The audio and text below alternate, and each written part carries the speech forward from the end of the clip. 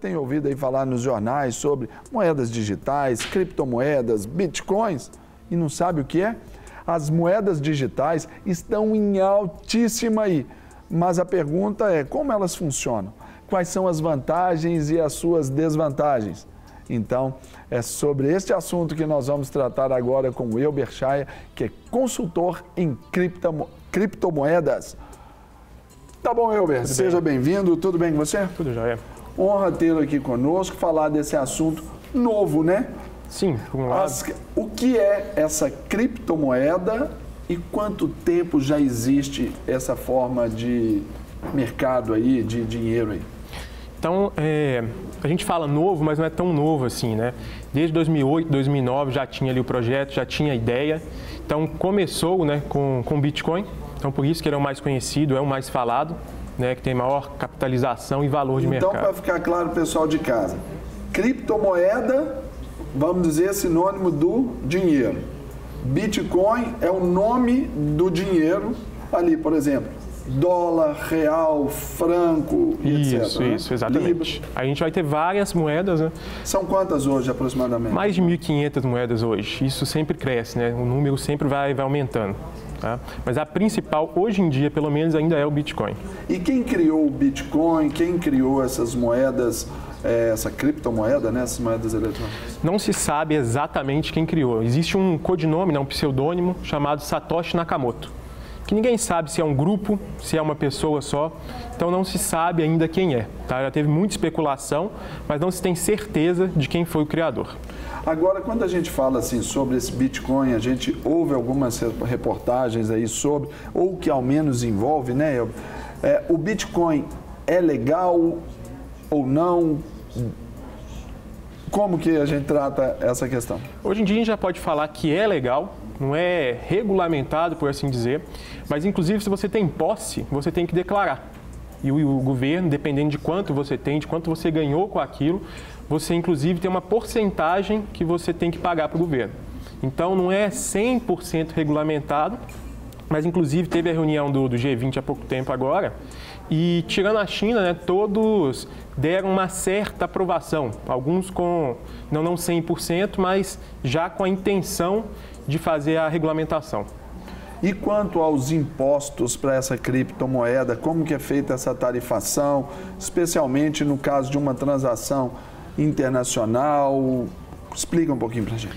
Em questão de impostos, fala-se de até acima de 35 mil mensal, né, que se você tiver de ganho, você tem que dar 15%. Né? Então você faz a declaração, a declaração é mensal e você tem que tirar 15% do que você ganhou para o governo. Até 3 milhões e 600 mil. Acima disso, vai aumentando, né? E de que forma essas transações com as criptomoedas elas acontecem?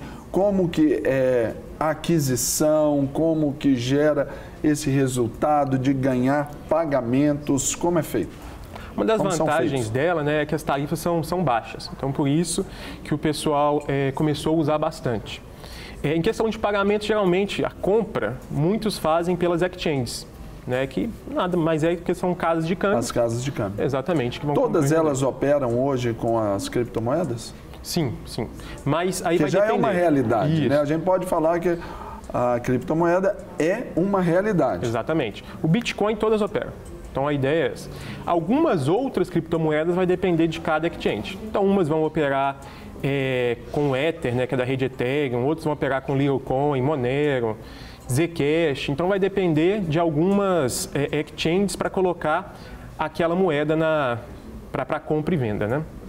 Como é feito essa questão da, das transações?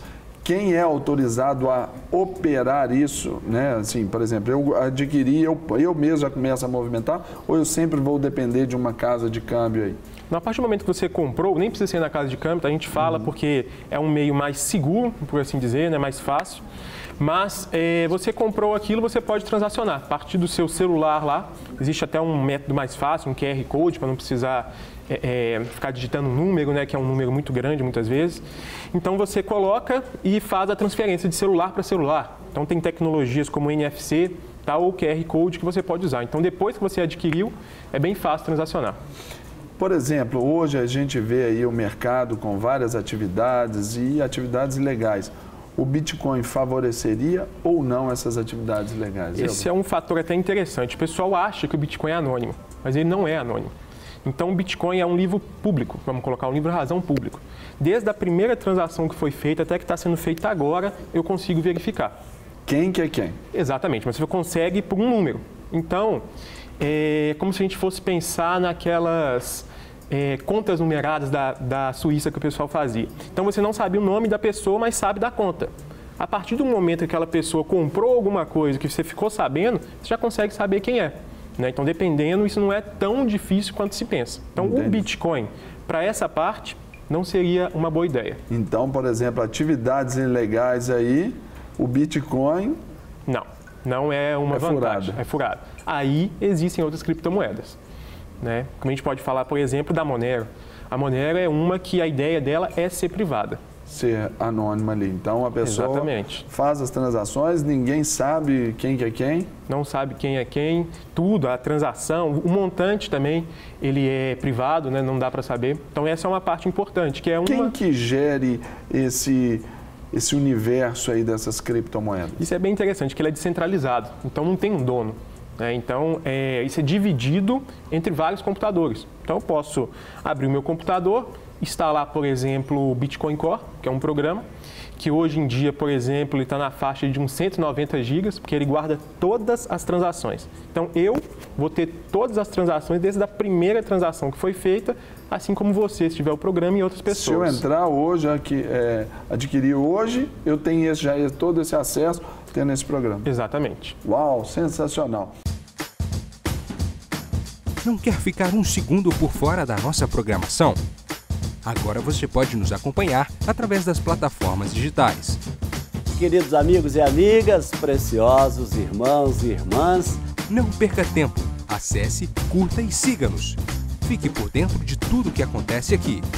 Rede Super, inspirando você.